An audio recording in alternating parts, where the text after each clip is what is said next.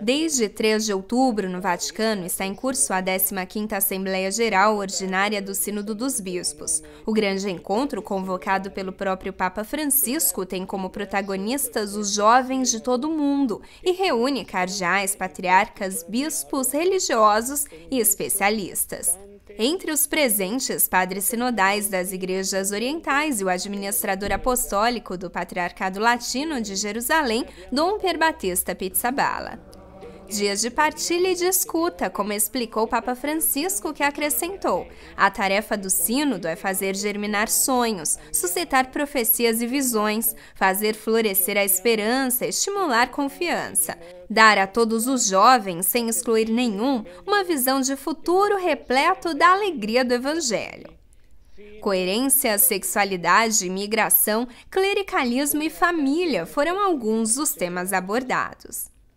Durante todo o percurso sinodal, ora fadigoso, ora entusiasmante, a Igreja demonstrou que caminha junto com os jovens de todo o mundo, inclusive do Oriente Médio, onde as comunidades cristãs tanto sofrem.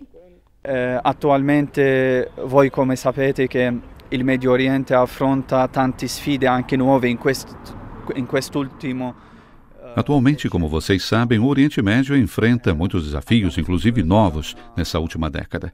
Sofremos com guerras na Síria, no Iraque, na Palestina, conflitos na Turquia, em Israel, Egito, e isso fez-se perder tantas, mas tantas comunidades. Nos fez perder paróquias inteiras e tantas comunidades. E questo eh, fatto perdere tante comunità, ma tante, ma anche ci ha fatto perdere parrocchie intere e diocesi.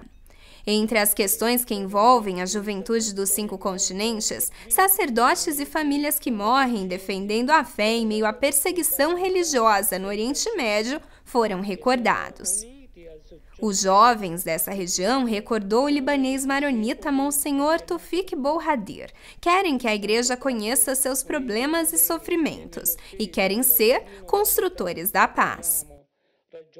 O sínodo termina com a apresentação de um documento final. Já existem, no entanto, iniciativas que vão ao encontro das necessidades dos jovens, como a deste bispo que divulga conteúdos de teologia e fé na internet. I, I, giovani fanno le domande rispondo io. Noi ora siamo 16.700 laici in lingua araba. Os jovens fazem perguntas e eu respondo. São agora 16.700 leigos de língua árabe. Me fizeram até o momento 3.200 perguntas, que geraram 3.200 respostas. Assim me veio a ideia de, em vez de passar todo o tempo com essas perguntas e respostas, criar um programa de estudo. Alguns disseram sim, demonstraram interesse. Contatei uma universidade e criamos esse sistema.